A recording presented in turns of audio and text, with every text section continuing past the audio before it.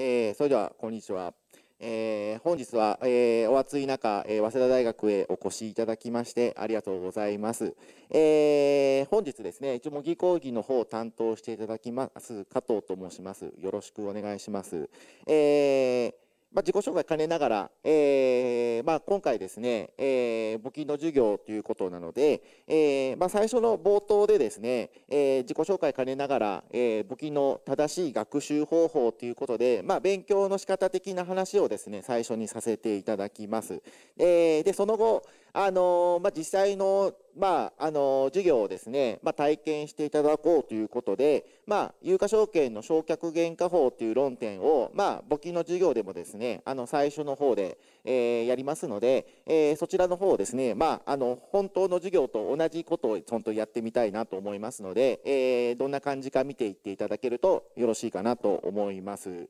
はい。ちょっと待ってくださいね。で、えーまあ、お手元の、えー、スライドと、えー、同じものを映しますので、まあ、画面の方を見ていきながらあのメモでも取っていただけるとよろしいかなと思いますが。はいすいません。で、えっ、ー、と、まず最初に自己紹介なんですけれども、えー、一応私ですね、あと、早稲田実業のですね、えー、高校の頃からですね、まあ、ここで簿記の勉強を始めましてですね、えー、簿記と出会いましたと。で、えー、で、その後ですね、高校2年生から、えー、まあ、日照1級の勉強をしたりとか、で、えー、で、高校3年生ぐらいで、まあ、一次試験っていうのを取ってですね、高校3年生から会計士の勉強を始めまして、えー、まあ、無事ですね、大学学3年生であの会計士の試験を受かったんですけれどもでその後ですねあの専門学校の方であの東京 CPA っていう学校校がありまして一応そちらの方で、まあ、ずっともう簿記の先生一筋じゃないんですけれどもあの簿記の先生以外仕事したことないので、えー、そちらの方の仕事をずっとさせていただいております。で,、えーと、でここの会計研究家なんですけれども、えーと、今年で、えーと13年目だと思うんですけれどもで結構あの実はあの当初からですね、まあ、裏方で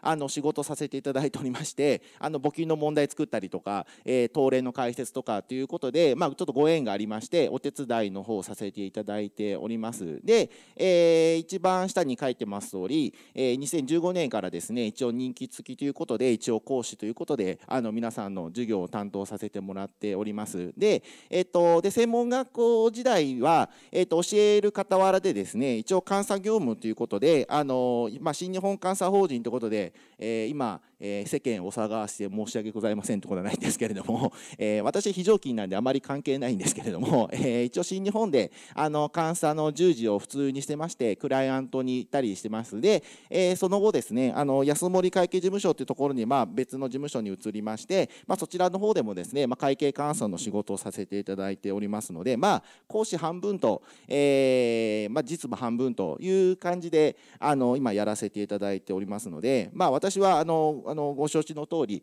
あの学者の先生ではないんですけれども、まあ、簿記を教えることは一応できますのであの一応そちらの方でですねあの、まあえー、会計士として一応働かせていただいております。で,、えー、で次のスライドなんですが。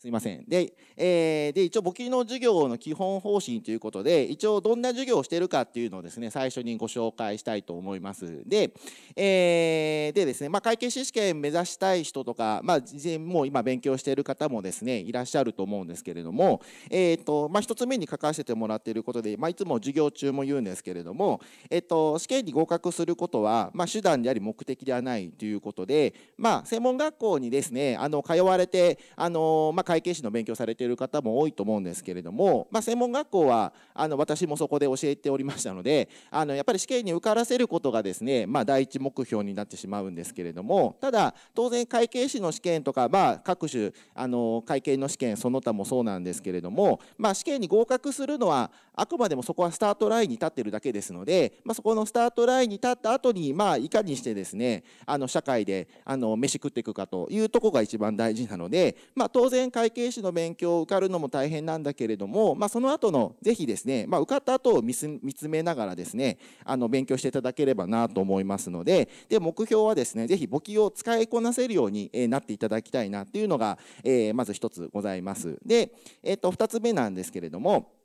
えー、資格試験自体もですね変化してますと。で、えー、試験問題がですね昔は複雑で難解の問題が多かったんですけれども、まあ、今はま単純な問題が多いです。で、まあ、会計の科目なんですけれども、まあ、あの会計基準がですね、まあ、あの増えてきましてですね、まあ、そこからですね、まあ、浅く広く勉強するのが、まあ、一つですね攻略する、えー、ポイントなんですけれども、まあ、そうなってくるとですねもう計算の仕方だけ覚えればいいとかで一般的な専門学校はあのもうやり方とか計算の仕方をですねまあもう覚えてくださいねっていうふうになってしまうんですけれどもでも実はそれだとですね1つ目の話と同じように、えっと、使いこなせるようにはならないので、まあ、そこでぜひですね簿記っていうのは、ま、考える学問ですと。であの実務をやっていただくとですね少しあの分かっていただけると思うんですけれども、えっとまあ、机上の問題はですね当然答えがある問題しか出題しませんので、えー、この取引はこうですということになるんですけれどもでも実務はもう本当に一つ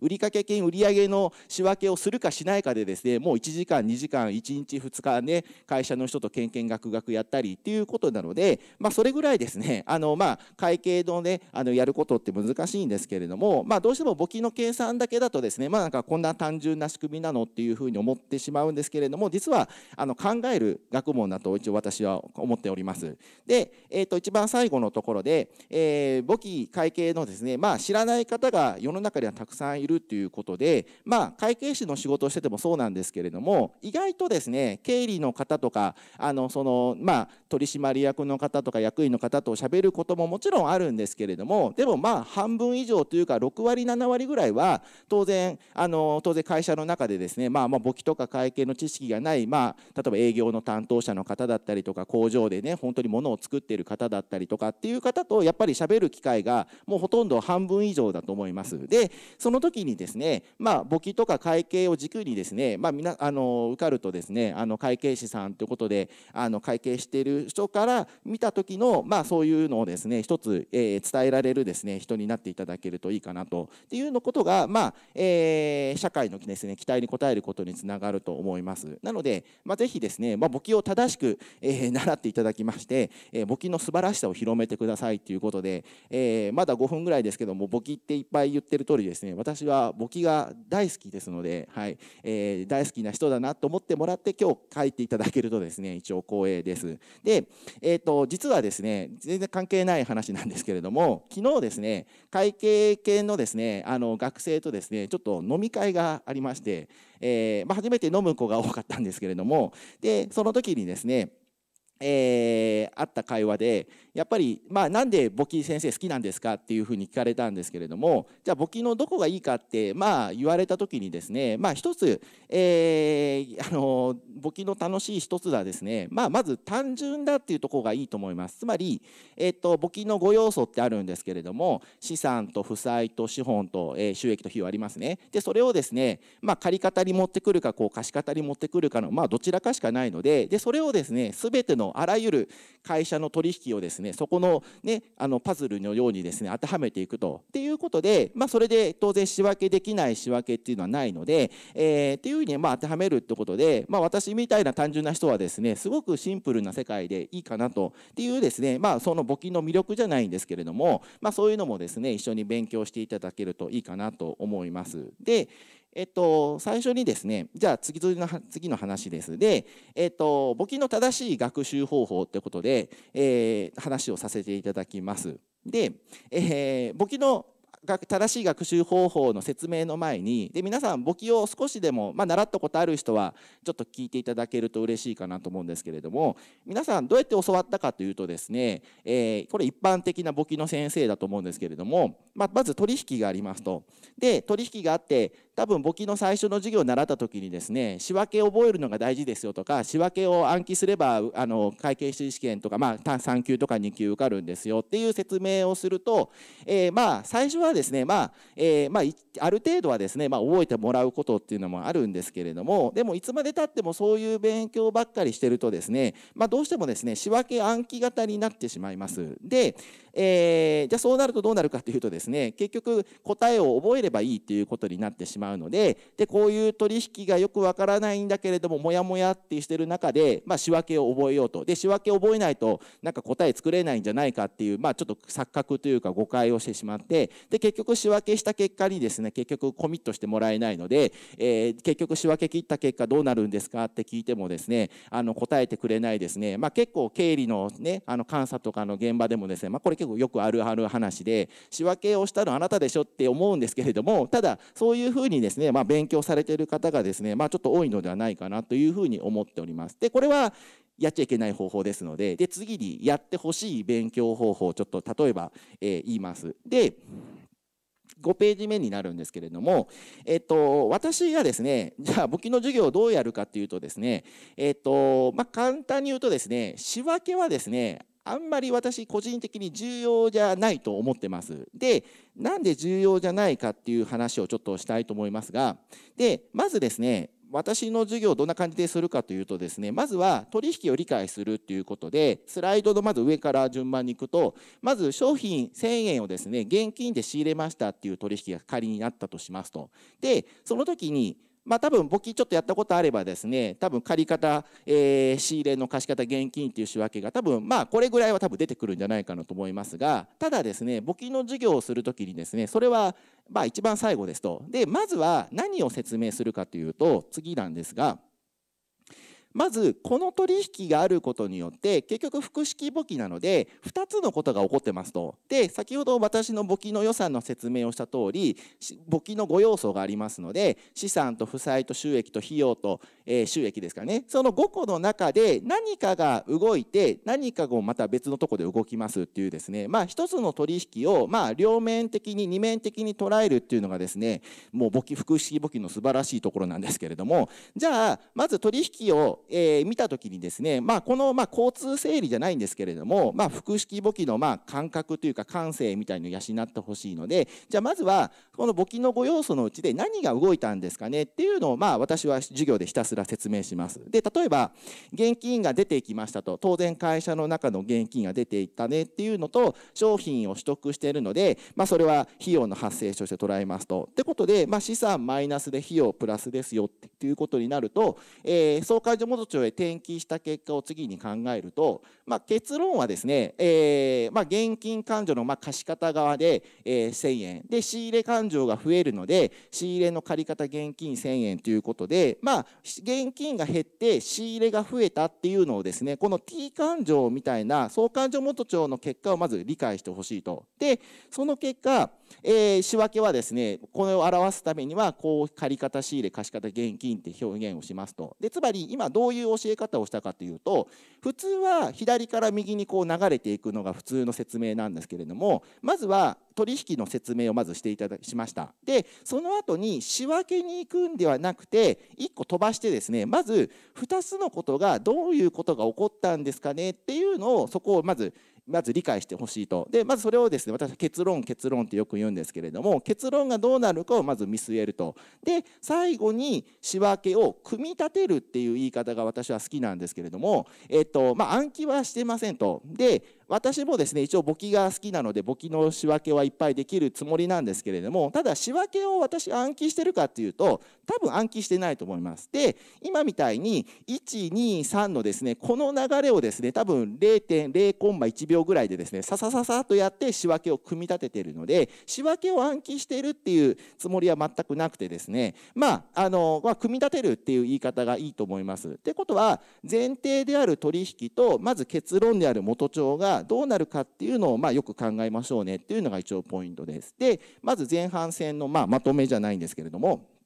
じゃあ簿記はどうやって勉強してほしいですかねっていうとでまず取引がどういう内容なのかを適切に把握しっていうことで、まあ、簿記の授業でも、まあ、この説明をまあ基本的にします。では実際にこの後ですね昇格原価法というところでやってみたいと思いますのでなのでまずその説明をしっかりすると。で皆さんも理解してほしいと。でその結果簿記の5要素を動かすとあるべき結論がどうなるかっていうことで2つのことが何が起こるかを考える。で最後に丸3番のところで先ほど言っている通り仕分けを組み立てていただけると、まあ、これがいい勉強方法ですということになりますのでで先ほどのスライドの通りこの123をですね先に元帳のことを考えて仕分けに戻るっていうのがですねすごくいいんじゃないかなというふうに思っております。なのであの、まあ、私は簿記の先生ですのであの会計は教えられないんですけど簿記は教えられるんですがで、えっとまあ、会計の先生もちろん会計研究家いっぱいいらっしゃいますしすごい先生がいっぱいいますのでそこは理論で勉強強してくださいとで私は計算をもちろん教えますけれどもじゃあ計算と理論別々かっていうとそんなことはなくてですね、えっと、計算と理論が一つの、えー、流れの中でですね同時に学んでいく必要がありますので、まあ、会計法規集というのもあるので、まあ、そこと合わせて理論と計算を一緒に勉強してほしいなっていうふうに私は思います。で、えー、ではですね後半戦の話に入ります。で7ページのスライドになるんですけれども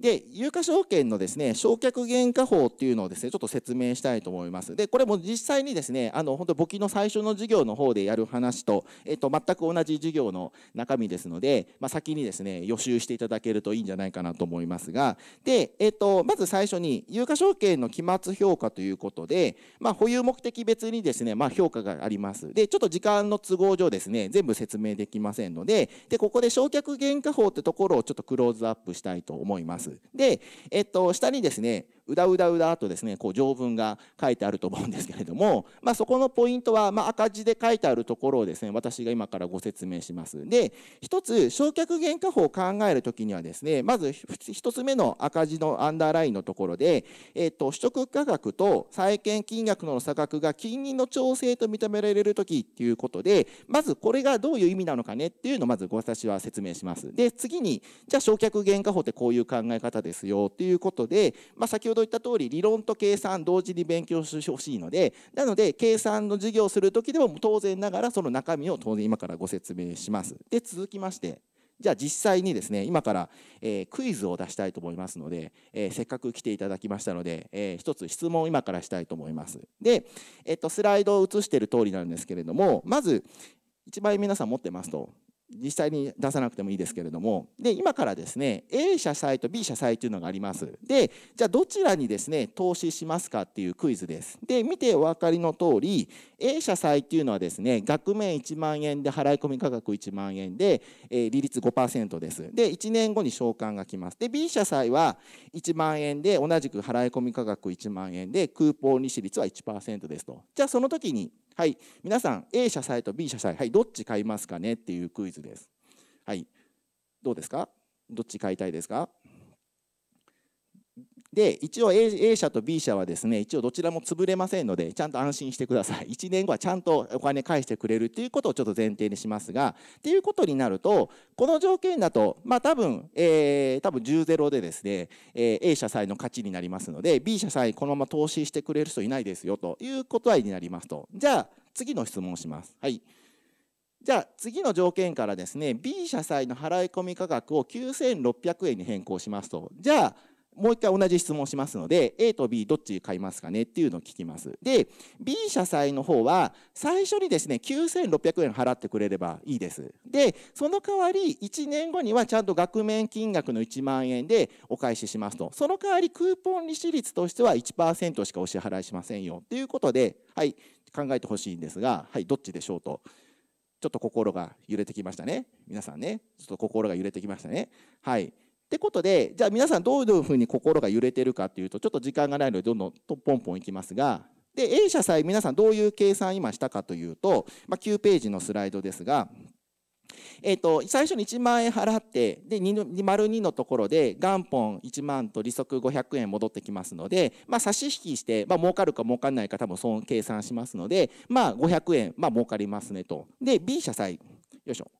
はい。ということで B 社債は最初9600で当然1年後は元本1万円返ってきてでクーポン利子率は、えーと、額面かけるクーポン利子率なので100円もらいますと。ってことは1万100円と。なので丸2から丸1引くとプラス500円ということでちょっと心が揺れてきましたね。はい。ってことでクーポン利息プラス金利調整差額っていうことでよいしょ。じゃあこの金利調整って何かというと結局ですね額面金額1万円と払い込み価格9600円の差額400円について金利と同じ役割を持たせてますよっていうことなので、まあ、これがですね要は金利調整差額っていう話ですつまり額面金額1万なんですが払い込み価格9600なので400円が金利と同じ機能をしてますよっていうことになりますと。はいということでじゃあしつこいですけどもう一回聞きますね。はい A と B どっち買いますか？はい、皆さん A と B どっちでもいいよっていうのも答えとしても OK ですけれども、はい、どっち変えましょうか。はい、これでちょっと答え言っちゃいますが A 社債買う人はいないでしょうね。A 社債買おうとした人はですねもうちょっと簿記勉強した方がいいかもしれないですけれども A 社債買う人はいないですね B 社債買いますね全員ねなんでか分かりました？えーまあ、これは簿記とは関係ないですけれども 結局9600円払って500円の利息もらった方が、まあ、利回りがいいですねと。もうちょっと分かりやすい言い方をするとですね私だったらです、ね、皆さんから1万円預かって A 社債買うよって嘘ついてですねで B 社債買ってですね、え、400円自分の懐に入れてですね1年500円返すっていうですね。詐欺師みたいなことを言ってますけれども、えー、いうことになるので、まあ、普通は B 社さえ買いますねっていうのが一応答えですと。まあ、分かんない人は別にいいです、今の話は。はい、簿記とは関係ないです。はい、次いきます。で、えー、次、焼却原価法とは何かって話します。で、えー、もう一個質問を今からしたいと思います。で、えー、とちょっと別の説例でして、額面金額1万円で、払い込み価格9700円と、で、えー、期間は3年の謝罪とします。で、これをですね、皆さん買った買いました、9700円で。で、クーポン利息ちょっと面倒くさいので、一応無視します。で、買った時の仕分けは、よいしょ。で、投資有価証券9700円で現金9700円と。でもう一個皆さんに今日質問させ上げるのは償却原価法を適用しない場合です。今からするのを言いますけれどもしなかったとしたら3年後どういう仕分けになるかっていうのを考えてもらいますと。でちょっと頭で考えてほしいんですけれども償却原価法しないで償却原価法しないとずっと9700円で置きっぱなしですのでじゃあ1年後の仕分けどうなるかっていうと、えーまあ、この通り9700のはま3年後まで来ちゃいますね。ってことになると償還時の仕分けは、えー、9700円貸方有価証券ので借方1万入ってくるので有価証券利息300円と。でこの一応断っておきますがこの仕分け自体は正しいです。つまり借方と貸方合ってますのでで差額300円儲かったね仕分けになるんですけれどもで会計はここからの話でじゃあ本当にこの仕分けは合ってるんですかねっていう問題です。でヒントはえっと、3年間継続して保有した、まあ、ご褒美って言い方はちょっと緩いかもしれないですがご褒美としてもらえる300円なんですがじゃあこの300円を3年目だけで上げて大丈夫ですかねっていう問題ですとつまりヒントは会計期間が違いますので1年ごとに決算日が来ると思っていただきたいんですけれどもってことは最後の、えー、3年目だけで300円を収益上げるのはちょっとおかしいですよね。で正しくは3年間持ってたんだから300円もらえるんであれば、まあ、次の図になるんですけれども、えっと、この金利調整差額の300円っていうのを、まあ、割り振った方がいいですよねっていうのが一つの答えです。いいですかね？ってことになると結局3利息と同じなんで利息っていうのは時の経過をするに従って発生するものですからそれに合わせた経済実態に合わせた仕分けをしてあげないといけないと。だからサボっちゃいけないってことですね。9700円のままサボっとくとさっきの仕分けになっちゃいますのでじゃあサボらずにやりましょうねっていうのが会計の世界なのでじゃあ実際にどういう仕分けになるかっていうとまあ定額法で配分すると100100ってことになります。でじゃあ1年後、まあ、決算整理仕分けになるんですけれどもまあ、結局100円をまあ収益上げたいよねっていうことになるので貸方で有価証券利息が100円の借方投資有価証券100円ということで、まあ、ここでですね、まあ、お金は実際にもらえないんですけれども投資有価証券の帳簿価格を増やすことによって、まあ、徐々にですね、まあ、1番に近づけていくっていう仕分けをしていきますと。でその結果、まあ、BS の投資有価証券、まあ、1年後の貸借対照表には9800円という、まあ、これを償却原価っていうんですけどまあ、取得原価でもないですね取得原価っていうのは9700だし額面金額っていうのは当然1万円ですと。ってことでこの会計上すごく大事な概念でこの償却原価っていうのは今の会計の本当のポイントだと思いますのでこれを正確に理解してほしいなっていうのが一つあります。でこれをずっと、えー、2年後えー、また3年後ってことになるとちょうど1万になりますので最後償還する時は投資有価証券1万の借方現金1万円っていう仕分けをしていただきますと。っていうことなので、まあ、このようにですね、まあ、100、100、100をですね、まあ、配分するっていう作業が、まあ、償却原価法なんですよということで、まあえーまあ、大体こんな感じですと。で具体的に、えーまあ、もうちょっと時間ありますので、えー、償却原価法の利息法と定額法って話を一つしたいと思います。で、えっと、今ののは実は定額法なんですけど実は、まあ、原則と例外っていうのはございましてで利息法が一応原則的な方法とされてます。で定義のとこはですねまたうじゃうじゃうじゃとまた書いてあるので、えー、まあ後で読んでもらえるといいかなと思うんですけれども、えー、まあ一つポイントなのがえっと、償却原価法の利息法原則の中の定義のところなんですけれども、えー、ちょっと定義一回呼びます。で、債券のクーポン受取額、利息です。で、利息の部分と金利調整差額の合計額を債券の帳簿価格に対し一定の率で以下実行利子率というとなるように複利を持ってまあ複利ってとこはちょっとこれキーワードだと思いますけれどもまあ複利計算を持って各金に損益に配分する方法ですと。っていうことになるのでじゃあ実際にどういう仕分けになるかっていうのをちょっと利息法の仕分けを、まあ、スライド見せてますがで利息法の考え方は今のところをちょっと分かりやすく言うと真ん中に書いてますが利息法の考え方はクーポン利息の計上と償却原価法の計上を同時に行うと。つまり先ほど言った通り金利調整差額もクーポン利息もどちらも利息の働きをしますので、まあ、それを同時に計算しましょうよっていうのが利息法の考え方ですと。で順でことが仕分け見ていただくと分かるんですがクーポン利息もらった仕分けと償却原価法の仕分けをこれ合体させてるなっていうのが多分分かっていただけると思います。で具体的にはこの123の順番で計算するんですがってことでまず丸1番有価証券利息の計算は帳簿利息に対して実実行利子率を計算します。でこれはもうちょっと言い方変えるとクーポン利息と金利調整差額を両方加味した、まあ、本当の利子率って言い方がちょっとまああのちょっと幼稚かもしれないんですけれどもまあ言いたいことは、まあ、どちらも利息なので、まあ、これが本当にもらえる利率だと思っていただけるといいかなと思います。で丸2番のところででそのうちクーポン利息の部分は額面金額かけるクーポン利子率のまあ掛け算になります。まあ、これは当然毎期一定の金額になりますと。で最後に丸3番貸借差額で、まあ、投資有価証券求めてねって説明をするんですがでもう一つ付け加えるんであれば結局ですね貸方で計上した有価証券利息が本当の利息なんですがそのうち現金で一部引き出してますで引き出したんだけれども残りの金額はまたさらに再投資しているのでその分を投資有価証券の金額に組み入れるっていうのが利息法の考え方ですと。もっと分かりやすく言うと定期預金か何か、まあ、預金をしますと。で預金をしてて実行利子率分だけ1年後に利息がつくんですね。でそのうち一部お金欲しいんで一部引き出しちゃいます。でその残りをもう一回定期預金に預けると当然またその元本が増えますので元本が増えた分に対してまた次の利息金利がもらえますのでってことでまた丸1番に戻るんですけどまた帳簿の元本に対して利息がもらえますよということでまあ多分皆さんが普段